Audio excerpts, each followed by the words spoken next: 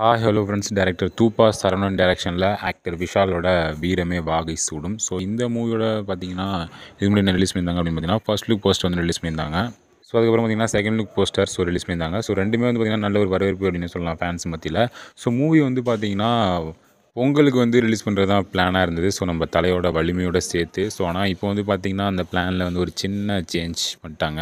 So இந்த படத்துக்கு வந்து பார்த்தீங்கன்னா யுவன் சங்கர் ராஜா ஸோ அவர் தான் வந்து பார்த்திங்கன்னா மியூசிக் வந்து கம்போஸ் பண்ணுறாரு ஸோ இந்த படத்தில் வந்து பார்த்திங்கன்னா நம்ம விஷால் கூட டிம்பிள் ஹயாத்தி ஸோ அவங்க வந்து பார்த்திங்கன்னா பேரா நடிக்கிறாங்க.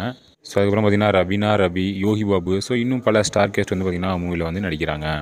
ஸோ இப்போ வந்து மூவிலேருந்து என்ன அப்டேட் அப்படின்னு பார்த்தீங்கன்னா மூவியோட ரிலீஸ் டேட் வந்து பார்த்திங்கன்னா அஃபிஷியலாக வந்து கன்ஃபார்ம் பண்ணியிருக்காங்க ஸோ மூவி வந்து எப்போ ரிலீஸ் பண்ணுறாங்க அப்படின்னு பார்த்தீங்கன்னா ஜனவரி இருபத்தி ஆறாம் தேதி வந்து பார்த்திங்கன்னா மூவி வந்து ரிலீஸ் பண்ணுறாங்க குடியரசு தினம் ஸ்பெஷலாக ஸோ இந்த அனௌன்ஸ்மெண்ட் வந்து பார்த்திங்கன்னா டீம் வந்து கன்ஃபார்ம் பண்ணியிருக்காங்க ஆக்சுவலாக இந்த வீரமே வாகை சூடு மூவி வந்து பார்த்திங்கன்னா நம்ம தலையோட வலிமை மூவி கூட மோதுறது தான் பிளானு ஸோ எதுக்காக சேஞ்ச் பண்ணாங்க அப்படிங்கிறது தெரில ஸோ வெயிட் பண்ணி பார்க்கலாம் மூவி வந்து எந்த அளவுக்கு இருக்குது அப்படிங்கிறத.